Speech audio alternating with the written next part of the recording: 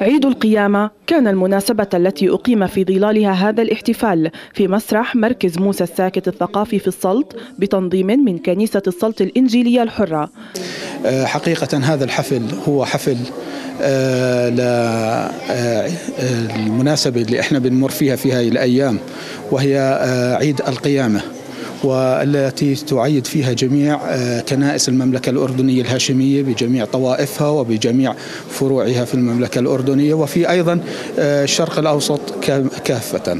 فإحنا نقيم هذا الحفل حتى أن نوصل رسالة للناس كلها عن المحبة والتآخي وما قام فيه الرب يسوع المسيح في يوم القيامة وأعطانا أن نحب بعضنا بعضا كما هو أحبنا حتى أنه بذل نفسه لأجلنا على الصليب. الاحتفال بدأ بصلاة أقامها القس معتصم دبابنة تلاه ترنيمات مختلفة للمرنمة ريم الربضي بمرافقة جوقة الأردن البيزنطية.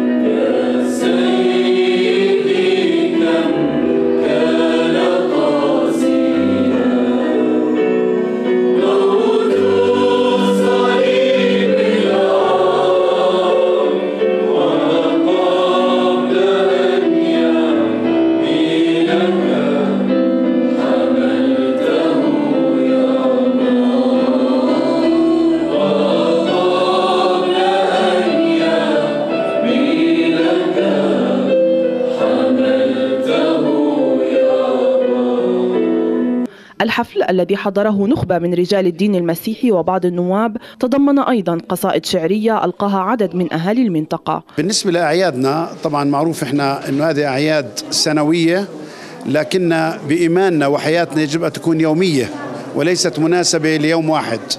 آه الآلام طبعا كانت في القدس الجريح ونتأمل وكلنا أمل أنه يوم أنه أن تصبح القدس آه حرة وفلسطين موجودة على أساس نصير نقدر نعيد مش بس هون نقدر نحتفل أحد الشعانين والقيامة في القدس. وشارك النائب السابق عماد معايعة بالاحتفال من خلال عظة تحدث فيها عن أهمية عيد القيامة. رايح أتكلم عن تلامذة المسيح الذين كانوا بالخط الأول إلا أنهم هربوا لأنه كانت مقاومة لليهود كثيرة عليهم.